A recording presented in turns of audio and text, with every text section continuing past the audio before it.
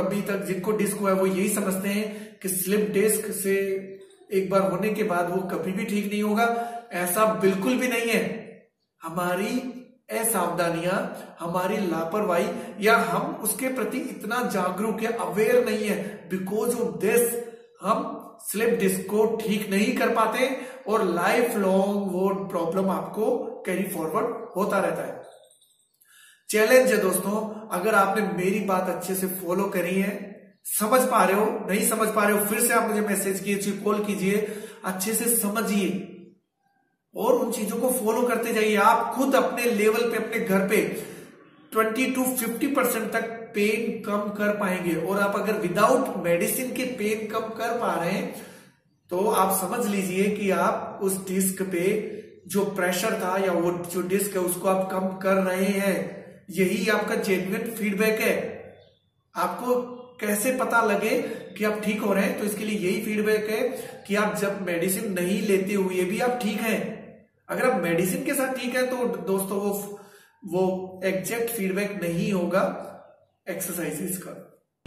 थोड़े दिन बाद ही आप क्या करते हैं, उस एक्सरसाइजेस को छोड़ देते हैं। जिन लोगों को पेन कम हो जाता है, वो लोग भी एक्सरसाइजेस छोड़ने, छोड़ देते हैं। और बिल्कुल भी एक्सरसाइज नहीं करने की वजह से फिर उनको पेन आने लगता है। तो सब लोगों को लगता है कि नहीं एक्सरसाइज से भी कंप्लीट ठीक नहीं होता है। लेकिन ये कंप्लीट ठीक इसलिए नहीं हुआ क्योंकि वो ठीक होने की तरफ़ जा ही रहा था। आपका सिर्फ़ पेन ही कम हुआ था और आपने एक्सरसाइजेज विड्रॉल कर लिए दोस्तों, इसके लिए मैं आपको एक मोटिवेशनल वीडियो और बनाने जाऊँगा। और उसमें दो चीज़ें आप ध्यान से समझें। जो ही आप एक्सरसाइजेस करने के लिए जाते हैं। आप शुरुआत में एक्सरसाइज करते हैं तो हम क्या सोचते हैं? हमें फीडबैक हेड ट्वेंटी चाहिए। हमें उसी समय रिज़ल्ट सही है क्योंकि हमारी टेंडेंसी मेडिसिन वाली बनी हुई है। जो ये मेडिसिन लिया और हमें आराम आना चाहिए। हमें रिलैक्स मिलना चाहिए। तो दोस्तों, ध्यान से समझिए मेडिसिन आपको कैसे, जो पेन किलर्स होते हैं, वो कैसे आराम दिलाते हैं? सिर्फ़ आपके जो पेन किलर होते हैं, वो नर्वस सिस्टम को सप्रेस करते हैं। यानी कि जहाँ आपको पेन होता है, उसको हाइड कर देते हैं, सिर्फ़ छुपा देते हैं। वो आपके पेन को या उस प्रॉब्लम को ठीक नहीं किया है। तो इस टेंडेंसी से, इस मेंटेलिटी से आप बाहर आइए।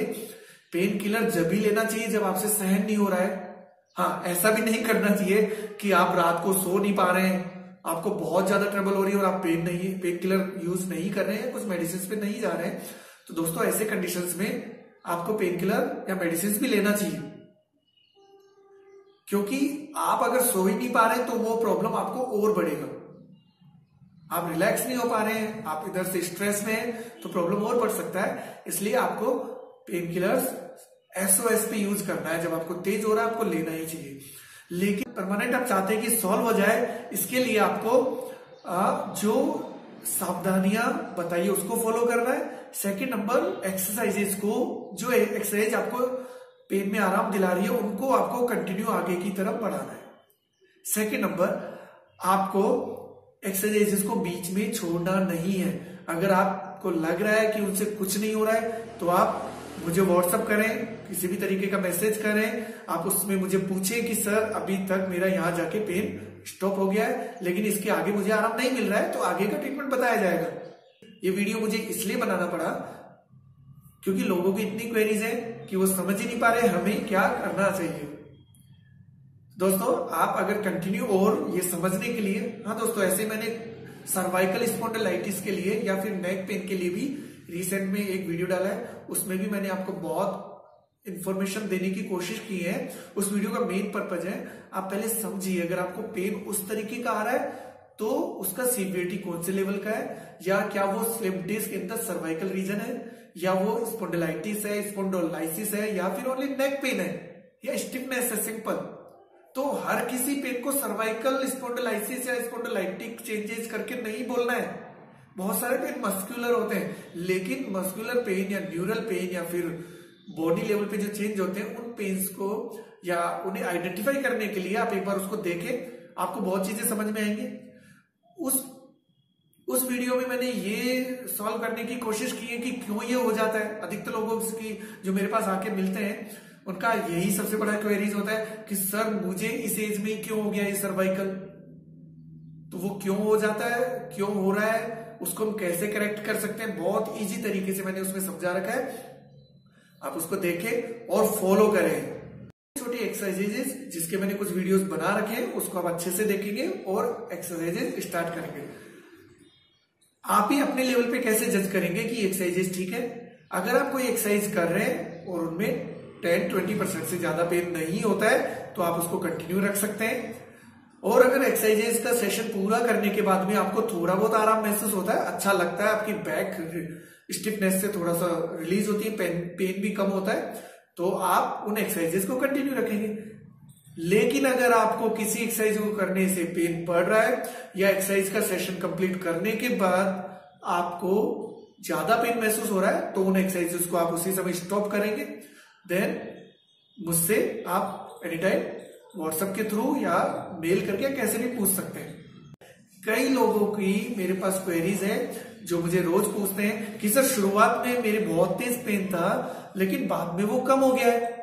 लेकिन आ, अचानक से छह से सात महीने बाद वो पेन मुझे वापस से होने लग रहा है। तो दोस्तों इसमें आप अच्छे से समझिए शुरुआत में आपने क्या किया? जो ही आपको एक्यूट पेन था आप खुद बेड रेस्ट पे चले गए।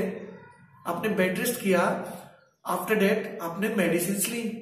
तो उससे जो स्टार्टिंग इन्फ्लामेशन है, जो बहुत ज़्यादा जो पेन होता है एक्यूट पेन बोलते हैं उसको, वो आपका सबसाइड हो गया, कम हो गया।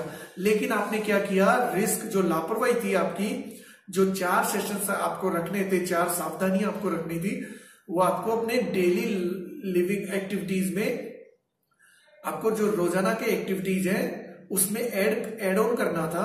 आपने नहीं किया और आप अपने पुराने तरीका जो काम करने का था उस पर आप वापस आ जाते हैं। जो ही दो तीन महीने या कुछ समय निकलता है, उस पर प्रेशर वापस से क्रिएट होने लगता है, क्योंकि स्टार्टिंग में जब आपको डिस्क हुआ, उस समय एक विंडो ओपन हो चुका था उस एरिया में।